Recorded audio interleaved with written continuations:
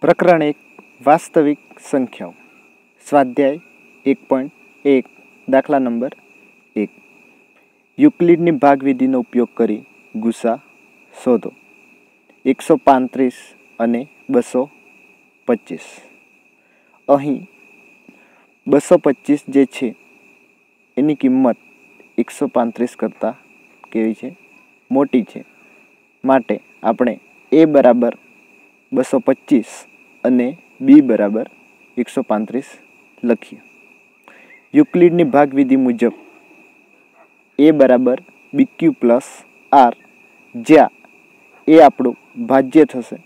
બી ભાજક, ક્યુ ભાગફળ અને આર જે છે એ આપણી શેષ થશે. એની કિંમત મૂકીએ. એની કિંમત આપણને ઉપર આપેલી છે બસો પચીસ એટલે કે એ બરાબર બસો પચીસ બરાબર. બી બરાબર, કિંમત છે એકસો પાંત્રીસ. અને ક્યુ બરાબર, એ આપણું ભાગફળ થશે. એટલે આપણે બસો પચીસ જે છે, એ આપણી એ એટલે કે ભાજ્ય. બી આપણું ભાજક થશે એકસો પાંત્રીસ. એટલે કે ભાજ્યને આપણે ભાજક વડે શું કરશું? ભાગીશું. એટલે કે એકસો પાંત્રીસ ગુણ્યા એક. એટલે કે એકસો પાંત્રીસ એકા એકસો પાંત્રીસ. એકસો પાંત્રીસ દૂર કરવા જઈએ. તો આપણે બસો પચીસ કરતાં વધી જાય છે.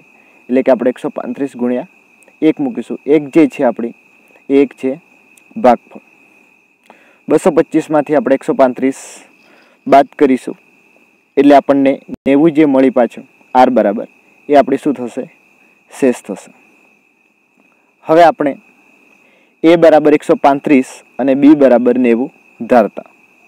તો એ બરાબર આપણે એકસો પાંત્રીસ બરાબર નેવું એકા નેવું. એટલે એકસો પાંત્રીસમાંથી નેવું બાદ કરશું આપણે. એટલે આપણને મળશે પિસ્તાલીસ. હવે ફરી આપણે એ બરાબર નેવું ધારીએ અને બી બરાબર ધારીએ પિસ્તાલીસ. એટલે એ બરાબર નેવુંની કિંમત મૂકીએ. એટલે કે એ બરાબર નેવું. બી બરાબર મૂકશું આપણે પિસ્તાલીસ. આપણે શું કરવાનું છે અહીંયા? નેવું ને નેવું આપણું જે છે એ ભાજ્ય છે અને પિસ્તાલીસ શું છે આપણું ભાજક છે. એટલે કે નેવું ભાગ્યા પિસ્તાલીસ. એટલે કે પિસ્તાલીસ દુ કેટલા થાય? નેવું એટલે આપણે પિસ્તાલીસ ગુણ્યા બે મૂકીશું. એટલે નેવુંમાં નેવું છે અને પિસ્તાલીસ દુ કેટલા થાય? નેવું. એટલે કે નેવુંમાંથી નેવું બાદ થાય. એટલે આપણને શેષ કેટલી મળશે?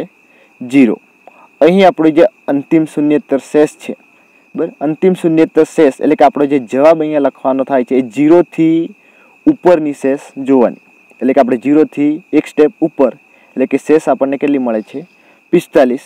એટલે આપણે અહીં અંતિમ શૂન્યતર શેષ જે છે, એ પિસ્તાલીસ હોવાથી એકસો પાંત્રીસ અને બસો પચીસનો ગુસ્સા પિસ્તાલીસ મળે, જે આપણે અહીંયા આ જવાબ તરીકે સાબિત થાય છે. એટલે કે ગુસ્સા એકસો પાંત્રીસ, બસો પચીસ બરાબર કેટલો થશે?